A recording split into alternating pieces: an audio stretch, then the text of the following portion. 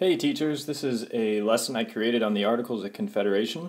I was having a hard time uh, before making this topic interesting for my senior government class, and so I thought we'd try simulation so they could really see how ineffective these articles were.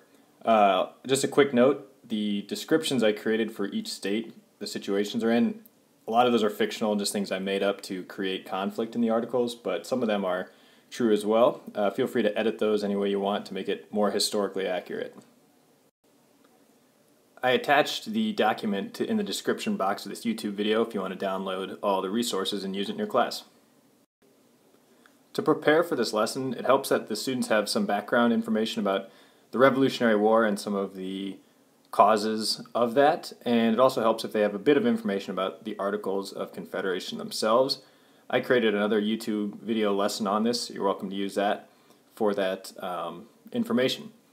Uh, but to get this lesson started, you'll want to make 13 copies of the simulation packet so that each state has one of those. I prefer to set up my desks in a circle, but it can work in any way you want to choose. It also helps to create labels for each state so uh, that students know who they're talking to. And then you'll need to divide your class uh, into states. I did this simply just by uh, creating numbered cards, 1 through 13, one for each state, and handing those out to students. Um, most of my states had two students to a state because I had a class of 27, and I had one state with three.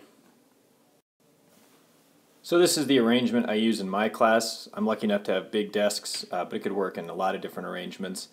I also project the problem, the current problem we're working on, on my projector so all students can see that. And I also write on the board the rules of Congress so they know what powers they have and what powers each state has. Once students are in the room, I begin the lesson by describing to them that we are going to be uh, participating in a simulation of the Articles of Confederation and that uh, they'll be able to see how effective or ineffective this system of government was. We begin by discussing the powers that Congress has and the powers that the individual states have. Each packet has these powers listed, but I also write them on the board. And so I explain to students that for the group of you know that makes up Congress, they'll have to reach 9 out of 13 votes to make a decision. And if they want to change the articles, they're going to have to have a unanimous vote of 13 out of 13. I explained to them that Congress can declare war, they can raise an army, but that they have to get those troops from the individual states. They cannot tax citizens, that they have to get money from each state, so states have to be willing to donate that money. And that uh, to allow a new state to join the Confederacy, they need a 9 out of 13 vote. Then I also talk about the powers they have as an individual state. And many of these powers come up in their descriptions as they read about their state.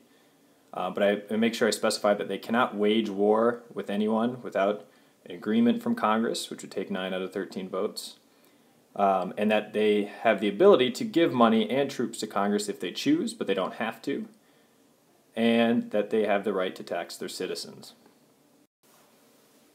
Once I've set up the situation for students, I give them a chance to look over the simulation packet with their partner. And I tell them you need to study your state to see what the current situation is in your state how much money your state has, how many troops it has available to give to Congress. And I also tell them to study the other state situations. And finally, I direct them to the problems that we're going to discuss during the debate, and those are on the last page of the packet. While they're doing that, I tell them to form an opinion about each of those problems and to think about what they might do. After students have had five or ten minutes to look over the packet, we begin the debate. We present problem one, and we go around the room and hear from each state uh, their opinion on that problem and what they would want to do. I also give students a chance to respond to other states' opinions and to try to convince uh, certain states to take certain actions. So, for example, problem one is loosely based on Shays' Rebellion. We've got Massachusetts dealing with a rebellion, and they're asking Congress to help them by sending troops. Uh, they're requesting 1,000 troops and $2,000. And so I explain to students during this phase that there's two decisions that need to be made. One, as a Congress, we need to agree to send troops.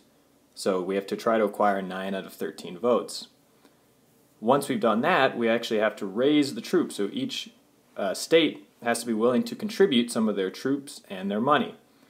What typically happens is we get enough votes to uh, allow troops to be sent, but then each state is not willing to send enough troops, and the thousand troops is not met, or the money uh, that the request is not met.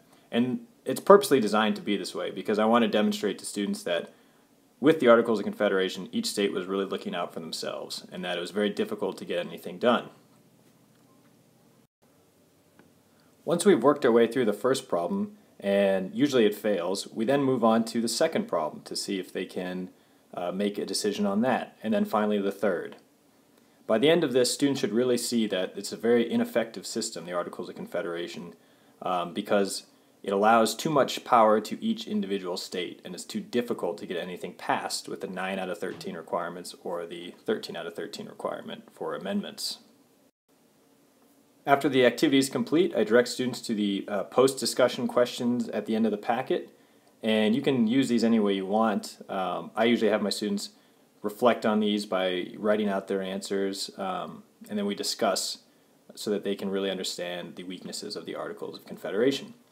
Well, I hope you guys have fun with this activity. Uh, my students really got into it, and uh, let me know how it goes. Thanks.